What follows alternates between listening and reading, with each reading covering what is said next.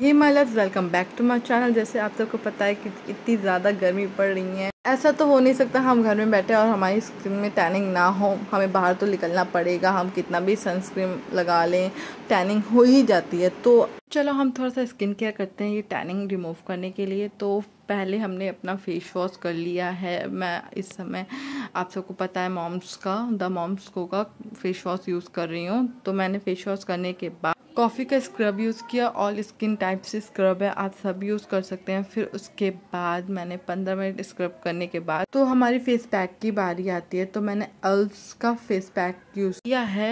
एक है बीटरूट का और एक मुल्तानी मिट्टी का, दोनों को मिक्स करके अप्लाई किया। 15 टू 20 मिनट्स इसको छोड़ देना है अपने फेस पे और उसको ड्राई होने के बाद लेना है अपने फेस पैक को। उसके बाद हमारा डेली का स्किन रूटीन शुरू करेंगे हम अपना। तो अपने फेस को ड्राई करने के बाद हम टोनर यूज़ कर रहे हैं। टोनर यूज़ कर लियो। अपना आप जो करेंटली यूज़ कर रहे हैं, मैं जो यूज़ कर रही हूँ, मैं वही बता रही हूँ और वही यूज़ करो जो आपकी स्किन में सूट करे। और फिर मैंने एलोवेरा का जेल मॉइस्चराइज़र यूज़ किया है। ख़त्म हो चुका है मेरा बॉक्स जो कंटेनर है।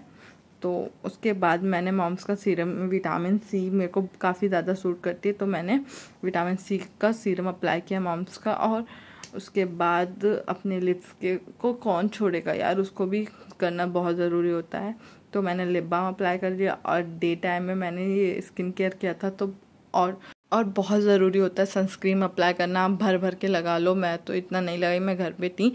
तो मैंने सनस्क्रीन अप्लाई कर लिया और ये आप देख सकते हैं रिसेंटली इतना ज़्यादा ग्लो अगर ये वीडियो अच्छी लगे तो सब्सक्राइब फॉर मोर वीडियोस